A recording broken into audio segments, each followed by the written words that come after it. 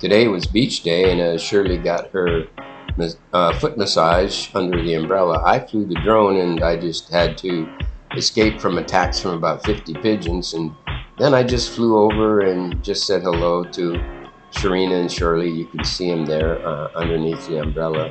Sharina's taking a selfie and Shirley there is getting a nice foot massage. Hello ladies. Okay, so we said hello. We avoiding the pigeons the best we can. And let's just take this bird up out of the way of the real birds.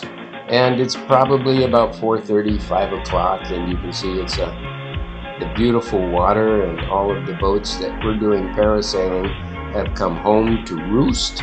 Um, I think that parasailing is pretty much done for the day. They start pretty early and it's really hot to be parasailing this time of day this is, of course, the hottest time of day to be doing something like that. So I just took it up um, a few feet, and that's our building there with the curvy, curvy top. That's North Shore Condominiums. I'm going to be flying over there in a minute. In the background, on the left side, you see the two Holiday Inn buildings, and on the right, in the deep blue building, that's Siam Siam, where we love to go and have some cocktails and a dinner and watch the sunset over there since we can't do that in our own building, those are multi-million dollar condominiums up at the top of our building, as you can see. And that little round circle, that, that tiny little place is ours. It's about 70 square meters. And we just love it, though, in the convenience of being there on Pattaya Beach when almost all the other condominiums over on Jomtien Beach away from all the entertainment. So the entertainment's right at our fingertips there.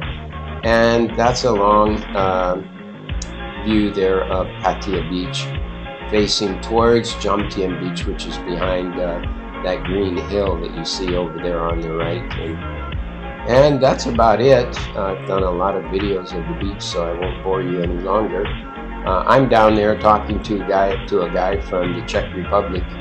He's trying to convince me to uh, buy uh, real estate in Thailand and uh, trust me, that's not the wisest thing you could do because of the red tape and the restrictions. And so I'm chatting with this guy from the Czech Republic, and it's really wonderful to be around so many international people.